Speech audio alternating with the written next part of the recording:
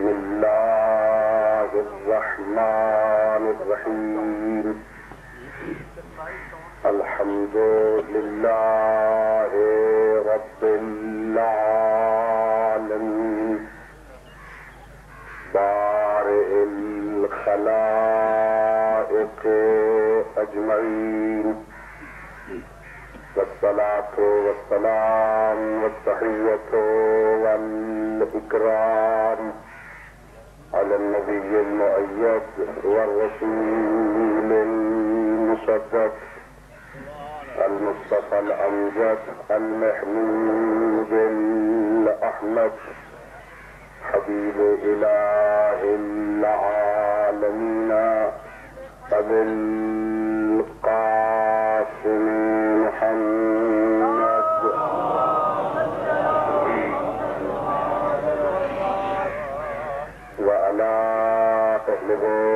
الطيبين الطاهرين المعصومين الغر الميامين الذين أذهب الله عنهم الرجس وطهرهم تطهيرا.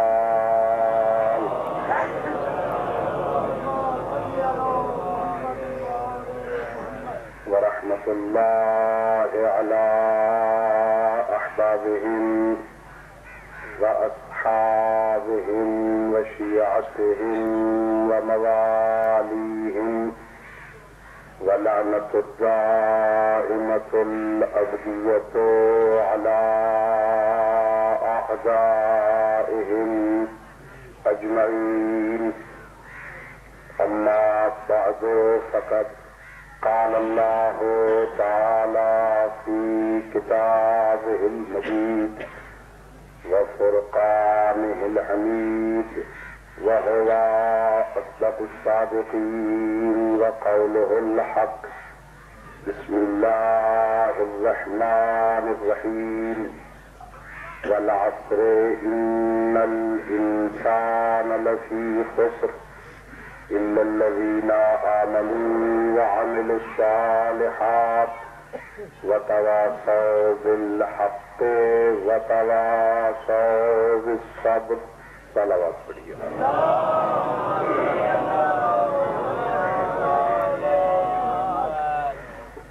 خالق کائنات بحق محمد وآل محمد علیہ السلام ہم سب کی اس عبادت کو اپنی بارگاہ میں قبول فرمائے۔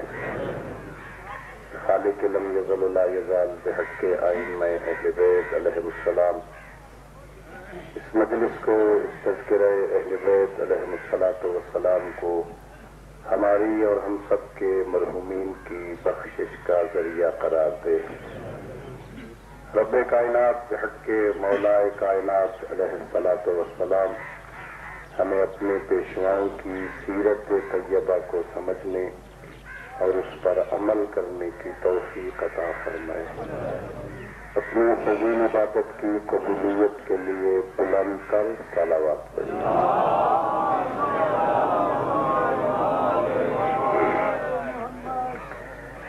میرے محترم اور معزز اور مقرم سامعین آج کی مجلس اور نشست میں مجھے جو موضوع دیا گیا اس کو مد نظر رکھتے ہوئے میں نے قرآن مجید کے ایک مختصر سے سورہ کی تلاوت کا شرح حاصل کیا۔ جو لفظوں کے اعتبار سے تو مختصر ہے، لیکن معانی اور مطالب کے اعتبار سے پورے مکتب اسلام کا خلاصہ ہے۔ رب کائنات کا ارشاد ہے۔ والعصر ان الانسان لفی خود زمانے کی قسم، تحقیق، سارے انسان گھاٹے میں ہے۔ ہر بندہ نقصان میں ہے۔ گھاٹے میں ہے۔ کامیاب وہ ہے جو اپنی اس مختصر زندگی میں چار کام کرے۔ ان الذین آمنوا، گھاٹا اسے نہیں ہے جو صاحب ایمان ہو۔ گھاٹا اسے نہیں ہے جو اسے مانے جسے اللہ منوائے۔ اور ویسے مانے جیسے اللہ منوائے۔ پہلا فائدہ اسے ہے جو ایمان لائے۔ اور صرف ایمان کافی نہیں ہے، بلکہ ایمان ایک ہے۔ کے ساتھ اسے تین اور کام بھی کرنے پڑیں گے۔ عامل الصالحات، سارے نیک عمل بھی کرے۔ سارے صالحات کو بجا لائے۔ و بالحق، ہمیشہ حق کی نصیحت کرے۔ و تواسو بالصبر اور صبر کی تنقید کرے۔ کامیاب وہ ہے بندہ اس کی پہلی شرط یہ ہے کہ اسے صاحب ایمان ہونا چاہیے۔ اور صاحب ایمان سے مراد یہ ہے کہ اس کا عقیدہ ٹھیک ہونا چاہیے۔ ایمان کا تعلق یعنی عقیدہ، ایمان والا ہو یعنی عقیدہ صحیح رکھتا ہو، جس کا ترجمہ میں نے یہی کیا تھا اور امدن کہا تھا کہ اسے مانے جسے اللہ منوائے اور ویسے مانے جیسے اللہ منوائے۔ کسی کو اپنی مرضی سے نہ مانے اور ماننے کا انداز بھی اپنی مرضی کا نہ ہو، بلکہ شیوں میں کہا کرتا ہوں، ناز کیا کرو اور فخر کیا کرو، اللہ نے عظیم رہبر دیے ہیں۔ اللہ کو ویسے مانو جیسے علی کہے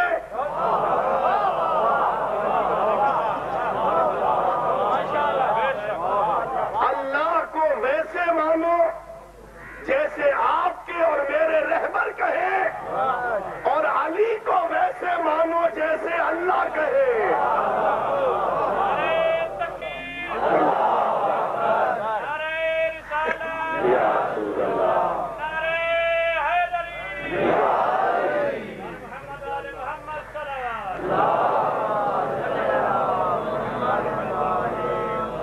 سب سے پہلی شرط کامیابی کی یہ ہے کہ اس بندے کو صاحب ایمان ہونا چاہیے۔ عقیدہ اس کا ٹھیک ہونا چاہیے۔ اور اس کے ساتھ ساتھ اسے عمل صالح انجام دینا چاہیے۔ فقط عقیدہ فقط عقیدہ کافی نہیں ہے۔ عقیدہ ہو اور عمل نہ ہو، وہ بندے کو شیطان بنا دیتا ہے۔ وہ مانتا تھا، اللہ سے کہہ بھی رہا تھا یہ سجدہ نہ کروا۔ باقی جتنے تیرے جی چاہے کروا لے۔ یہ عمل نہ کروا۔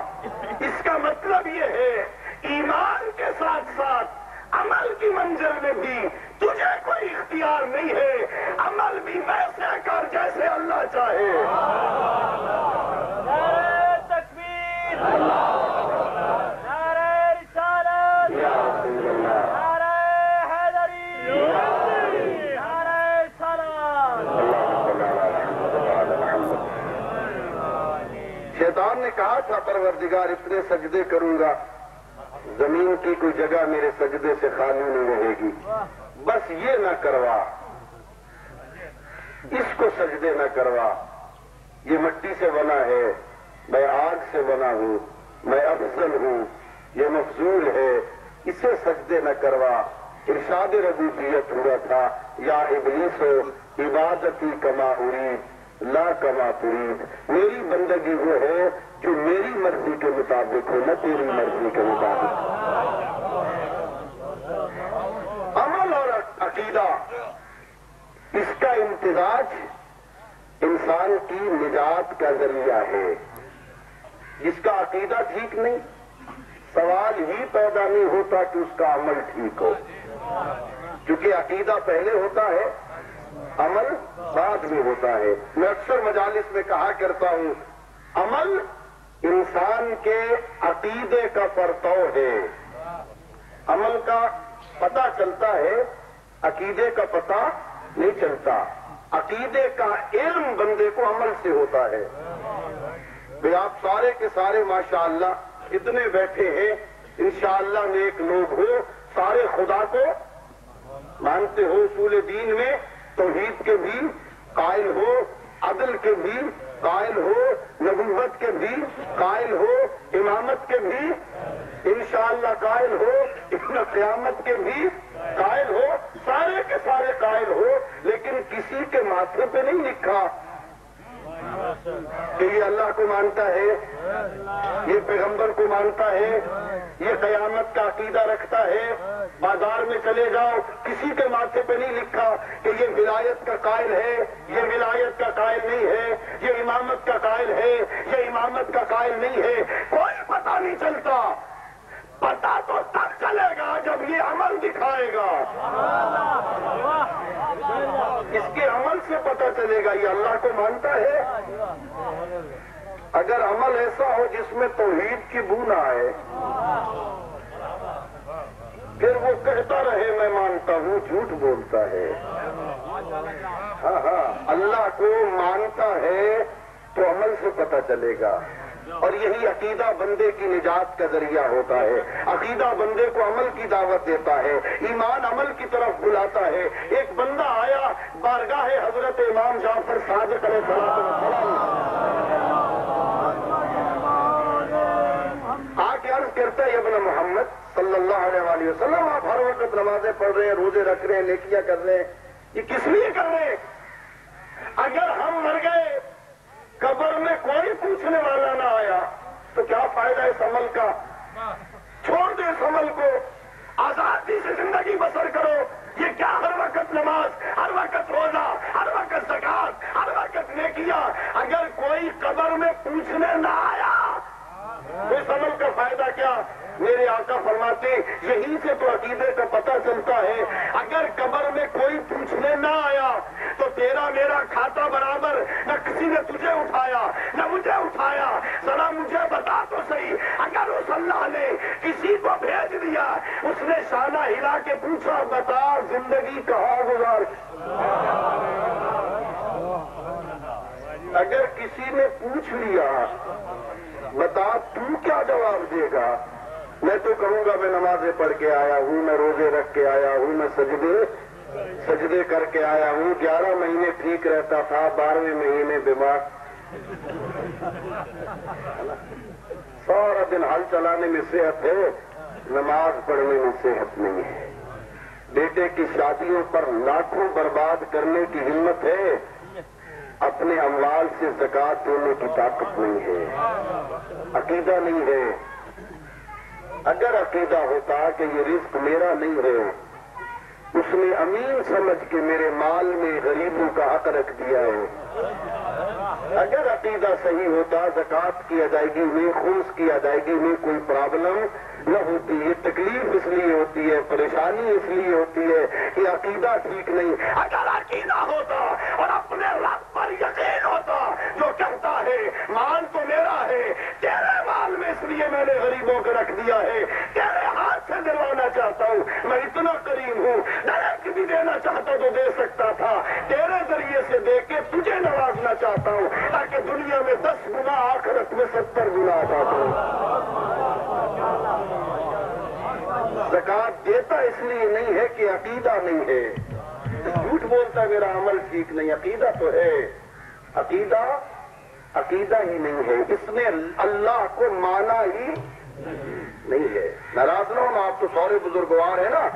جس جس نے اللہ کو مانا ہے اور ویسے مانا ہے، جیسے اسے ماننا چاہیے، پھر سوال ہی پیدا نہیں ہوتا کہ مانے اللہ کو اور اس کا عمل ٹھیک نہ ہو۔ عقیدہ ٹھیک ہو اور عمل ٹھیک نہ ہو، بھئی آپ بزرگان ہیں نا، یہ عمل ہوتا کیا ہے؟ یہ بندہ خود بخود عمل نہیں کرتا ہے۔ یہ جو میرے ہاتھ ہل رہے ہیں نا بلا وجہ نہیں ہل رہے۔ یہ جو میں آپ کی طرف دیکھ رہا ہوں نا، آنکھیں ایسے ہی میری مرضی کے بغیر ادھر نہیں دیکھ رہی۔ ان کے پیچھے اللہ نے ایک قوت حاکمہ رکھی ہے۔ جب بندہ چاہتا ہے میں ہاتھ کو اٹھاؤں، پہلے شوق ہوتا ہے، وہ ارادے میں بدلتا ہے۔ ارادہ قلب کے حوالے ہوتا ہے۔ قلب حکم دیتا ہے۔ اسی قلب کے حکم کو عقیدہ کہتے ہیں۔ پہلے عقیدہ ہوتا ہے، عقیدہ بنتا ہے تو ہاتھ اٹھتا ہے۔ عقیدہ ہوتا ہے تو نظریں ادھر جاتی ہیں۔ عقیدہ ہوتا ہے تو کان سنتے ہیں۔ عقیدہ ہوتا ہے تو زبان بولتی ہے۔ اب بول، جو بول رہا ہے، یہی تیرے اندر کی بات ہے۔ تیری زبان بتائے گی تیرے اندر کیا ہے۔ عقیدہ ہو ہی نہیں سکتا۔ عقیدہ اچھا ہو اور عمل عمل برا ہو۔ مانے علی کو اور بے نماز ہو۔ ہو ہی نہیں سکتا۔ اس نے مانا ہی نہیں، حیدر کر رہا جھوٹ کہتا ہے، میں مانتا ہوں۔ نہیں مانا اس نے۔ مانے علی ابن ابی طالب کو۔ روئے زینب کے پردے کو اور بیٹیاں بغیر چادر کے نکلے۔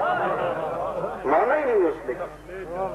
مانا ہی نہیں اس نے۔ اگر عقیدہ ٹھیک ہو، عمل ٹھیک ہوتا ہے۔ ذرا قرآن پڑھ کے دیکھیے۔ اتنی اہمیت ہے عقیدے کی۔ تیرہ سال مکہ کی زندگی ہے۔ جتنی قرآن کے وہ سورے جو مکہ میں نازل ہوئے ہیں ان میں عمل کی طرف کم اور عقیدے کو زیادہ اہمیت دی تیرہ سال اللہ کا معصوم پیغمبر مشرقوں کو مسلمان بناتا رہا۔ مشرق نہ بنو، ان بتوں کے سامنے سجدے نہ کرو، اس پتھر کے سامنے نہ جھکو۔ یہ پتھر تم سے بہت پائن ہے۔ اللہ نے تمہیں عظیم مقصد کے لیے پیدا کیا ہے۔ اور میں نے سرگودا میں کسی مجلس میں کہا تھا وہ بندگان خدا، اس اللہ کی تخلیق میں مسلحت ہے۔ اس نے پیر نیچے بنائے ہیں، گھٹنے اوپر بنائے ہیں، کمر اوپر بنائی ہے، سینہ اوپر بنایا ہے، گردن اوپر خلق کی ہے، اور سب سے اوپر پروردگار نے تیرے سر کو خلق کیا ہے تیری تخلیق میں اللہ نے تجھے سر بلند بنایا ہے اللہ چاہتا ہے اب اس سر کی بلندی یہ ہے کہ یہ فقط میرے سامنے جھکے نعرہ تکبیر نعرہ رسالت نعرہ حیدری تیرے سر کی بلندی یہ ہے کہ یہ اب فقط میرے سامنے جھکے اسے میرے غیر کے سامنے جھکا کے ذلیل نہ کر۔ تیرے سر کی بلندی یہ ہے، یہ خواہشوں کے سامنے نہ جھکے۔ یہ چھوٹی چھوٹی دنیاوی تمناؤں کے سامنے نہ جھکے۔ یہ بتوں کے سامنے نہ جھکے۔ یہ میرے غیر کے سامنے نہ جھکے۔ اس سر کی بلندی یہ ہے، اسے میرے سامنے جھکاتا جا۔ میں اتنا کریم ہوں، تو رات کے اندھیرے میں جھکائے گا۔ میں دن کی روشنی میں اسے مشہور کر دوں۔ گا بہت کریم ہے۔ وہ بہت مہربان ہے۔ عقیدہ عقیدہ انسان کو عمل کی دعوت دیتا ہے۔ جیسا عقیدہ ہوتا ہے، ویسا عمل ہوتا ہے۔ یہ نہیں ہو سکتا عقیدہ ٹھیک ہے اور عمل غلط ہے۔ دراصل عقیدہ ہی عقیدہ ہی نہیں ہے۔ کیوں؟ میرے مولا متقیان، امیر المؤمنین، حضرت علی ابن ابی طالب علیہ السلام وسلام نہج البلاغہ میں ایمان کی تعریف کرتے ہیں۔ ایمان فقط زبان سے پکارنے کا نام نہیں ہے۔ زبان سے لا الہ الا اللہ پڑھ بھی لیا نا تو اس کا کوئی مقصد نہیں۔ اس سے کوئی فائدہ نہیں ہوگا۔ فرمایا، تین تین مرحلے ہیں ایمان کے۔ تصدیق بالجنان، امن بالارکان، ایک دل کی گہرائی سے، دل کی گہرائی سے بندہ اس بات کو مانتا ہو جسے ایمان کہہ رہا ہے۔ دل کی گہرائی سے مانتا زبان کی نوٹ سے نہیں۔ اس لیے کہ میں شیعہ کے گھر پیدا ہو گیا لہٰذا شیعہ ہوں۔ اب تو میں نے علی ولیلہ پڑھنا میری مجبوری ہے ورنہ باپ مجھے وراثت سے نکال دیتے۔ مذہب چھوڑ دیا میں نے تو گھر والے نکال دیں گے فیملی والے نکال دیں گے۔ اس کا معنی ایمان نہیں ہے۔ دل کی گہرائی سمان کہ اس کائنات میں پیغمبر کے بعد سب سے اعلیٰ علی ہے۔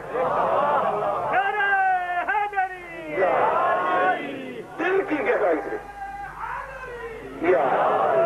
دل کی گہرائی سے مان کہ جانشین پیغمبر حیدر کر رہا ہے اس مسلط پر پیغمبر اسلام کے بعد بیٹھنے کا اگر کوئی حل ہے تو ابو طالب کلا اس کے علاوہ کسی میں صلاحیت نہیں ہے۔ اس لیے کہ یہاں مسلط پہ ہو بیٹھے گا جو پیغمبر جیسا ہوگا۔ کوئی نہیں ہوگا۔ اور اس کی تصدیق تو پیغمبر اسلام نے سورہ برات میں کر دی تھی۔ ارشاد ربوبیت ہوا تھا۔ میرے نبی، اس سورہ برات کی تبلیغ یا تو کرے یا تجھ جیسا کوئی کرے۔ دل کی گہرائی سے مان کہ علی ابن ابی طالب پیغمبر اسلام کا سچا جانشین ہے۔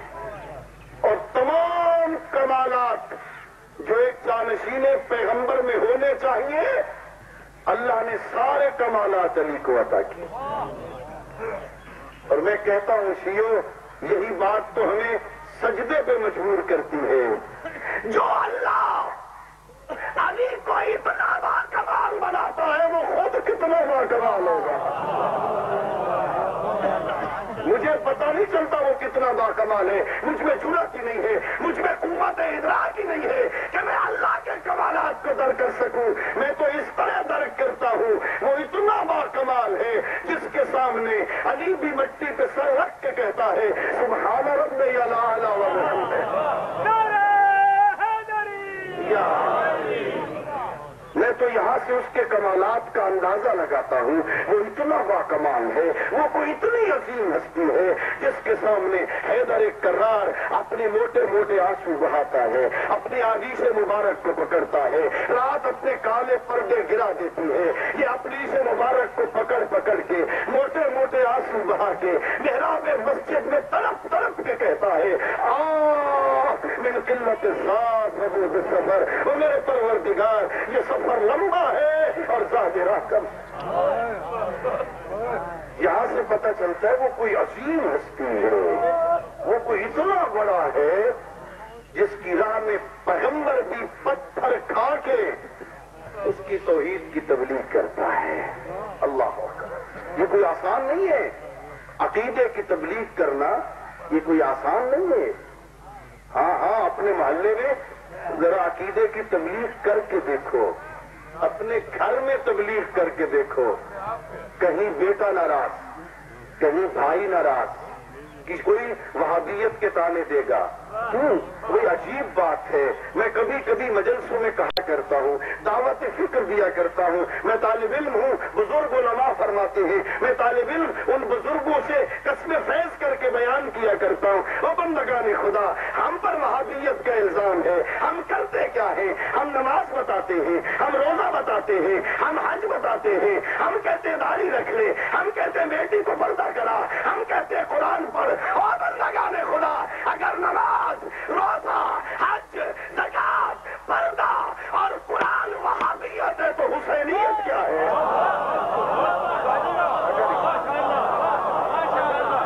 اگر یہ وہابیت ہے نعرہ تکبیر نعرہ رسالت نعرہ حیدری نعرہ حیدری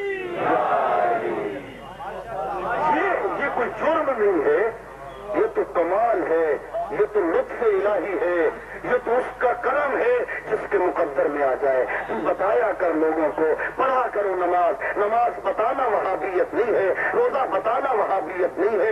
یہی تو سچی حسینیت ہے۔ یہی تو سچی حسینیت ہے۔ ہاں ہاں لیکن ہے بہت مشکل۔ بہت مشکل ہے تبلیغ کرنا۔ سچ بتانا، سچ کہنا، سچ سننا۔ سچ تو کڑوا ہوتا ہے نا۔ سب ساٹھ سال، ستر سال گزر جائیں۔ کسی بتوں کے سامنے جھکتے ہوئے انتظار کر رہا ہے۔ آ آ عقیدے اور عمل کے امتزاج کو دیکھ۔ آ اپنی چادر لٹوا کے آج بھائی اللہ کی راہ میں قربان کر کے اور محمد کی قربانی دے کے اکبر جیسا بھتیجا مروا کے اپنی چادر لٹا کے رات کے اندھیرے میں نماز عشاء پڑھ کے کہتی ہو میرا اللہ میری قربانی قبول اللہ اکبر، اللہ اکبر آ آ اس عظمت کا احساس پیدا کر، کتنی مشکل منزل تھی۔ ذرا تصور کر، یہ تو بزرگ تھے، چھوٹے چھوٹے بھی۔ اس منزل میں بڑے بلند مقام پہ فائز ہیں۔ اللہ تمہیں سلامت رکھے۔ آج شام جاتے ہوئے ایک جگہ پہ اس قافلے نے پڑاؤ ڈالا۔ خیام لگائے گئے۔ سائے میں فوج اشکیا بیٹھی۔ دھوپ میں علی کی بیٹیاں بیٹھی۔ ظالم نے اپنی فوج کو پانی پلانا شروع کیا۔ چار سال کی سکینہ۔ اپنے بھیا سجاد کے پاس آئی۔ بھیا، مجھے اجازت ہے، میں اس ظالم سے پانی مانگ لوں۔ یہ کہ اجازت ملنی تھی۔ اللہ جانے کہاں سے جام لیا سکینہ نے۔ اور شمر ملعون کے پاس آئی۔ ذرا مجھے پانی دے دے۔ اس نے اپنا رخ موڑا۔ دوسری طرف فوج کو پانی پلانا شروع کیا۔ حسین کی بیٹی سمجھی۔ اور جب یہ اپنی فوج کو پانی پلا لے گا۔ شاید پھر حسین کی بیٹی کو پانی ملے اور اس نے بندوں کو پلایا، جانوروں کو پلا لیا، سکینہ نے جام آگے بڑھایا۔ اس ظالم نے مشق میں موجود پانی کو زمین پہ پھینک کے کہا، ہر کوئی پیے، حسین کے بچے نہ پیے۔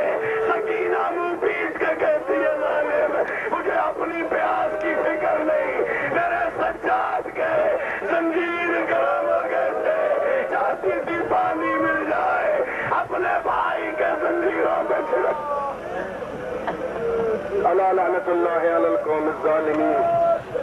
وسيعلم الذين ظلموا أي منقلب ينقلبون وآخر دعوانا أن الحمد لله رب العالمين.